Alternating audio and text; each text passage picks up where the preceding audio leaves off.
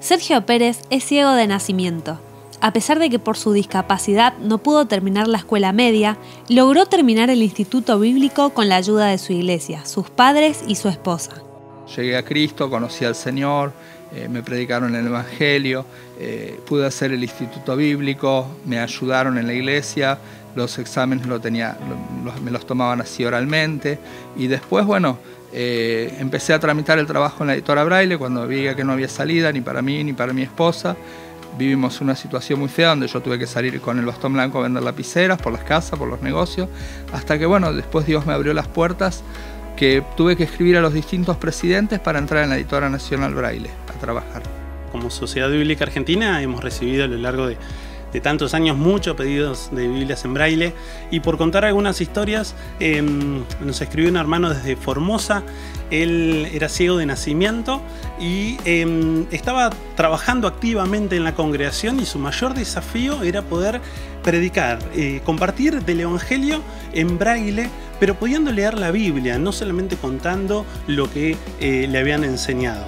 Y mm, hace poco eh, también desde Verazategui nos escribieron, era un chico que eh, estaba escuchando la Biblia, tenía acceso a la palabra de Dios en formato de audio, pero él quería profundizar a partir de poder comprender en sus tiempos, en sus tiempos de lectura, pudiendo volver, pudiendo avanzar en, lo que es la lectura y en braille.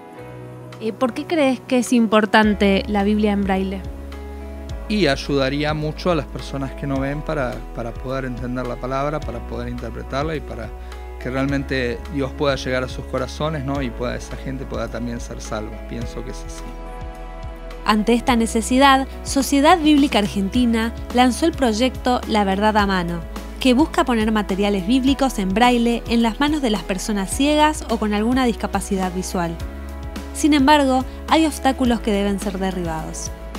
Hay muy pocas imprentas, em, ya que son muy costosos los procesos de impresión y puntualmente la Sociedad Bíblica Alemana es que está desarrollando un proyecto para facilitar el acceso a Biblias em, en distintas partes del mundo en el sistema Braille. Y es así es como nosotros hemos recibido esta donación de Biblias para ser entregadas a, beneficiarios, amigos que estén deseosos de leer la palabra de Dios en, braille. ¿Cómo una persona puede acceder a una Biblia en braille?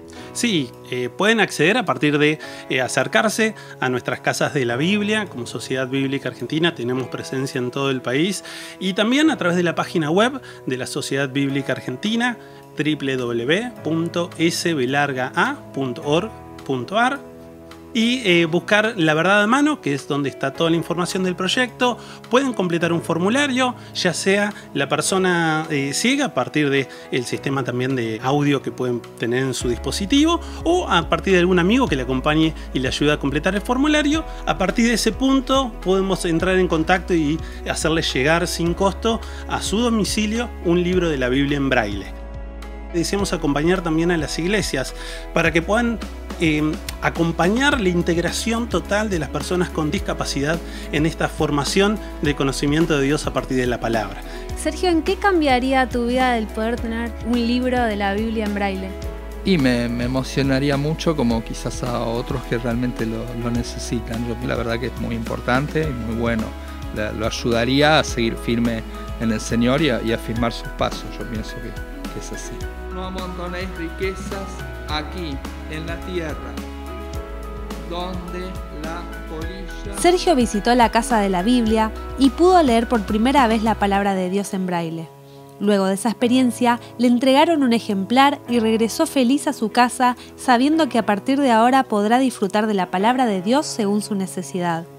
Desde Buenos Aires, para Mundo Cristiano, Judith Coe.